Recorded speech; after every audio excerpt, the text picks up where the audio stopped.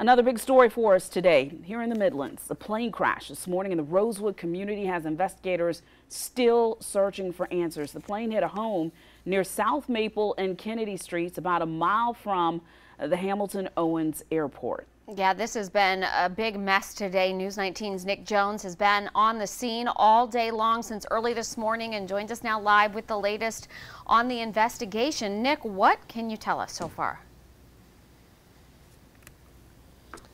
Well, Andrea, this is the area where a small plane crashed here in the Rosewood community right now. The block where this happened is taped off, and there's no traffic flowing through this particular area. But around 10:30 this morning, uh, this morning, officials got the call: a plane crash at the corner of South Maple and Kennedy Street. For those unfamiliar with this area, it's about a mile out from Hamilton Owens Airport as well as Williams-Brice Stadium. Now, once fire crews arrived, they discovered one home and the plane on fire. One person was in the home at the time of the crash, but were, they were able to get out of the home with their pets without any injuries as a result of the crash. According to officials, at least one person was on the plane, but the status of the person's condition has not been released yet. There's been no indication of what caused the crash at this time either. The NTSB tells me they're investigating the incident. And there won't be a preliminary report until at least two weeks. A concern with people in the area has been about fuel from the plane and the possibility of another fire coming from it. Columbia Fire Chief Aubrey Jenkins says they're on top of things and making sure it won't be a problem.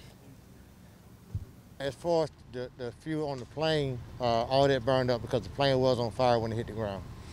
Okay. So, so all, all it, as far as we know, all the fuel is burned up in the plane. We're secure now. Um, obviously, when we first arrived, uh, we wanted to make sure we didn't have any other damage other than the involved uh, involved house.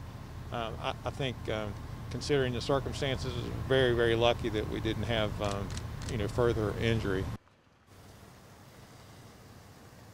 The Columbia Police Department says that people in this neighborhood can help with this investigation. If they have any video from iRing or doorbell or any surveillance video to help them with this investigation, they would appreciate it if you send it their way. In Columbia, Nick Jones, News 19 WLTX.